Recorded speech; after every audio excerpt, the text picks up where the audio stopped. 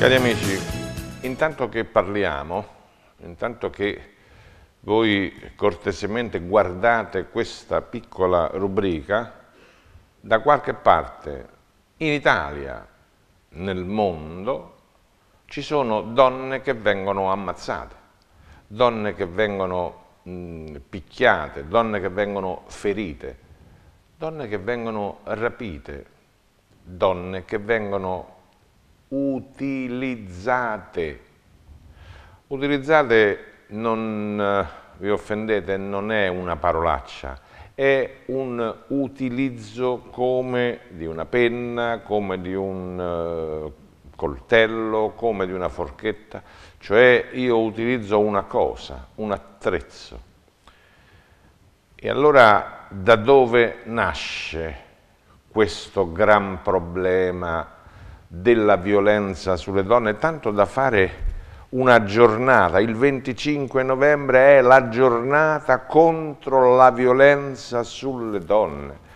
Ma vi rendete conto in che mondo siamo? Siamo costretti a fare una giornata contro la violenza sulle donne. È un mondo marcio evidentemente ed è un mondo dove non servono né altre leggi né altre eh, repressioni, dove serve cambiare la testa, cambiare il cervello, cambiare la crescita all'essere umano, all'uomo. Non è pensabile che in tutto il mondo paesi che odiano le donne, ve li faccio vedere, eccoli qua, c'è una mappa e non sono tutti e sono approssimati per difetto, ma ci sono ancora paesi dove il 35, il 50% delle donne non sa leggere e scrivere. Ce n'è uno da cui compriamo il petrolio, sono tanto bravi, dove le donne non possono guidare la macchina. Vabbè, grazie, la battuta di tutti tutti la sento, e meno male, avranno sicuramente meno incidenti, certo. Ma la battuta comunque nasconde dietro la tristezza.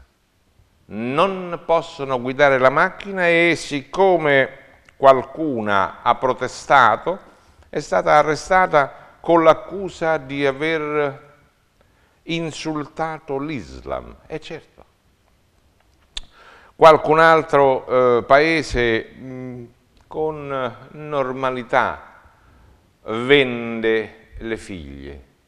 Ora, se da noi qualcuno c'è così stupido da farlo, se diventa un fenomeno di massa, allora è sì un problema.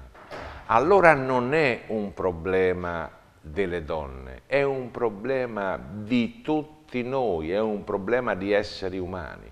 Non siamo, a, non siamo più, non ancora, non siamo più abituati a ragionare col cervello.